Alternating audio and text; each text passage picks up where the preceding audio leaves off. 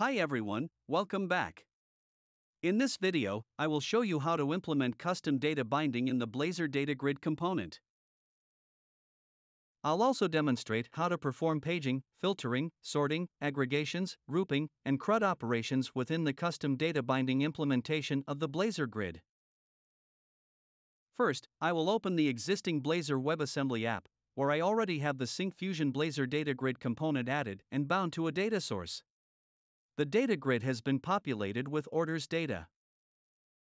If you want to know how to create a Blazor WebAssembly app and add a Syncfusion component to it, I recommend checking out the video linked in the YouTube card above.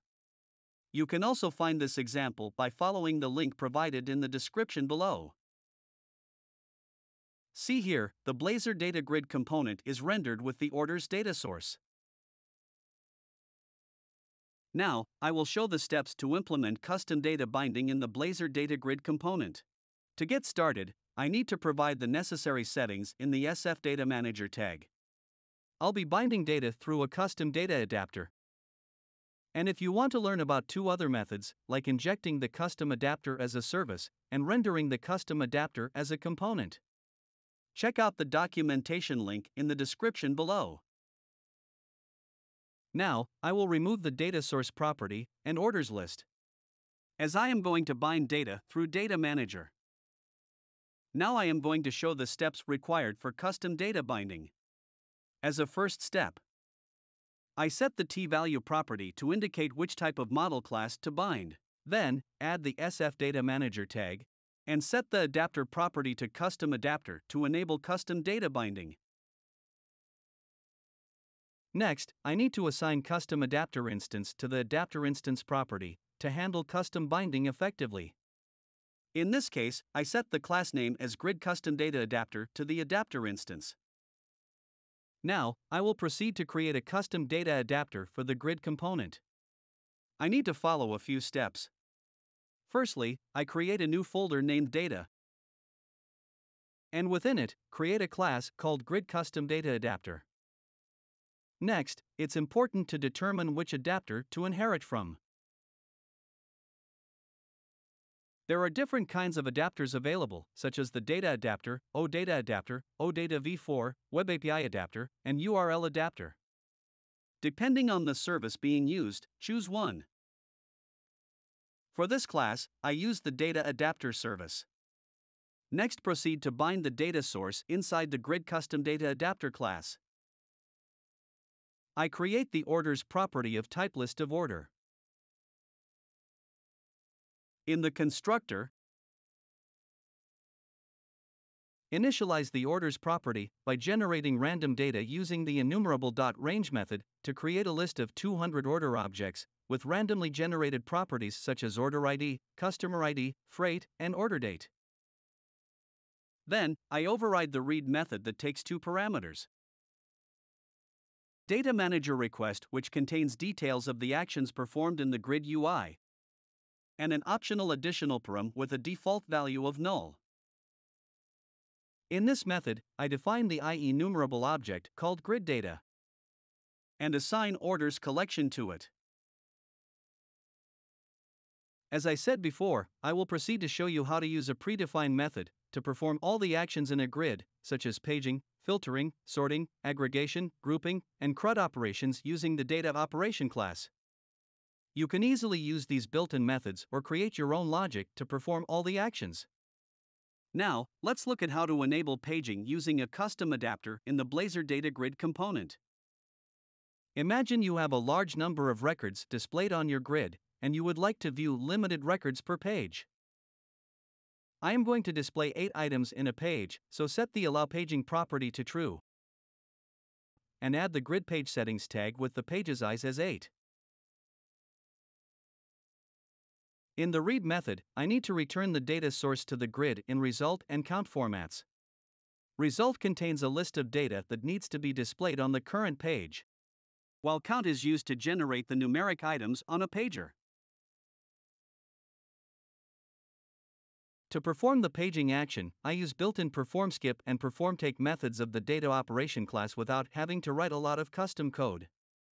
Finally, if you need to fetch data on demand, You can check if the requires count property of the data manager request object is set to true. If it is, create a new instance of the data result class and return the required data collection along with the total count of items. Otherwise, you can simply return the entire collection. The Blazor grid with four columns order ID, customer name, order date, and freight, and you can see the pager displayed at the bottom, and can navigate to other pages by clicking the numbers on the pager.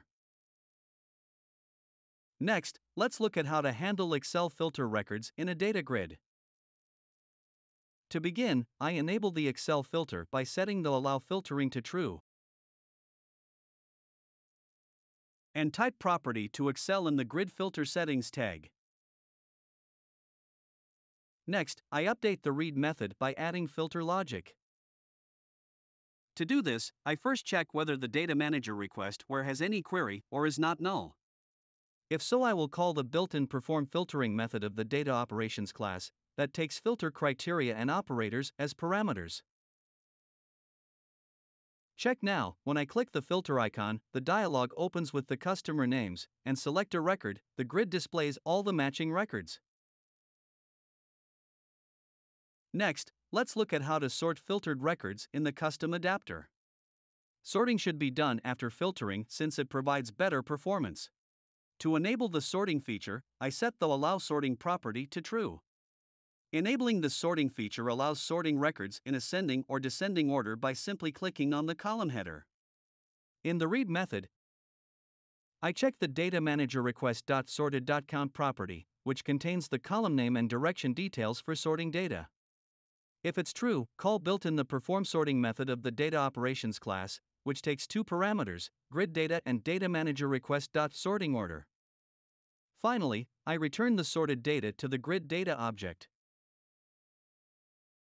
See here, when I click the order ID header, data gets sorted in ascending order. Again, click the same column header, it will sort in descending order. A repetitive third click on the same column header will clear the sorting. Next, I will demonstrate how to calculate and display aggregate values. The Blazor Data Grid component provides built in support to display the total and group aggregates of a particular column.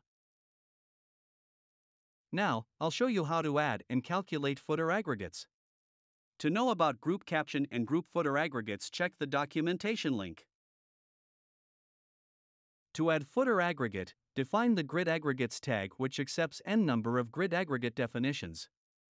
As I am going to show the aggregate of the freight column alone, let me define a single grid aggregate tag and add the grid aggregate column inside the grid aggregate columns tag. To calculate and display the sum of freight in the footer aggregate, I set the field property to freight and type property to sum. I also set the format property to format the aggregate output. Then I add the footer template, in which you have added a caption as sum, and will display the aggregated value near the caption at the end of the grid. Now, in the read method, to perform aggregation, I initialize a dictionary variable called aggregates. Next, I check the data manager request.aggregates property, which contains the aggregation details. If it's set to true, call the built-in datautil.performAggregation method, passing the grid data and aggregates as parameters. The result is then stored in the aggregates dictionary variable, and I return the aggregates value to the data result. Look now, you can see the footer aggregates displayed at the bottom of the freight column. Next, I will show you how to handle grouping and group aggregates. To enable grouping, I set allow grouping to true. Then I add the group footer template, which you have added a caption as sum, and going to display the aggregated value near the caption at the end of the grid. In the read method, I check the data manager request.group property, which contains the grouping details.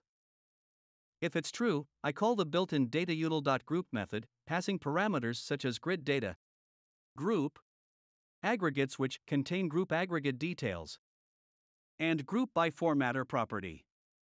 This contains the field name and the format method to handle the group. The method's resultant value is stored in the grid data variable. Once the grouping is completed, create and return a new data result object with group and aggregate details. Observe that, when the customer's name column header is dragged and dropped in the group drop area, or grouping operation is performed, the group footer is displayed under each group. Next, I will show how to handle CRUD operations in the custom adapter. By default, the data grid provides options for creating, reading, deleting, and updating records. To enable these features, set the as primary key property to true for the order ID column. Next, I add the toolbar options and assign it a value in the form of a list of strings. In this case, I assign the values add, edit, delete, update, and cancel to the list of strings. Next, I add the grid edit settings tag and set the allow adding, allow deleting, and allow editing properties to true to enable CRUD operations. In this class, to insert the original data source, a new record should be inserted at the beginning of the orders collection. This can be achieved by overriding the insert method and providing it with two parameters, data manager and record. The data manager parameter contains the data source being used, while record holds the new record that needs to be inserted. Additionally, an optional additional param parameter, it can be used to carry out any extra data operations that may be required. Then I call the insert method with new record as parameter. And finally return the newly inserted record details. Next, to remove the relevant data items from an existing data collection, I need to override the remove method. I need to create a variable called data and assign it to the record you want to delete that matches the primary column value. Then, I can call the remove method to remove the relevant order from the orders list based on its order ID. Finally, the remove method should return the removed data item. To update an existing data item in the data collection, I override the update method. First, I need to create a variable called dataObject and assign it the record in the orders list that matches the order.orderID. This variable will hold the original record that needs to be updated. Then, I should check if this variable contains updated details. If it does, I can update the properties with the values from the order object based on the data object. Finally, the update method should return the updated data item. With these changes, let's run the demo. The toolbar is enabled in the grid containing edit options. I can add a new record by clicking the Add button. To edit a record, I simply select a row and click the Edit button. Furthermore, deleting a record is as simple as selecting a row and clicking the Delete button. Now let me summarize the key takeaways from this video. I covered data binding with a custom adapter and demonstrated various functionalities such as paging, grouping, filtering, and sorting that can be achieved using this adapter. I also showed you the CRUD operations and how to aggregate records. For more information on the grid features, be sure to check out the documentation link provided in the video description. If you would like to see the working code of this example, you can download it from the GitHub link in the description below. I've also provided a link where you can see if you qualify for a free community license to use all our Blazor products.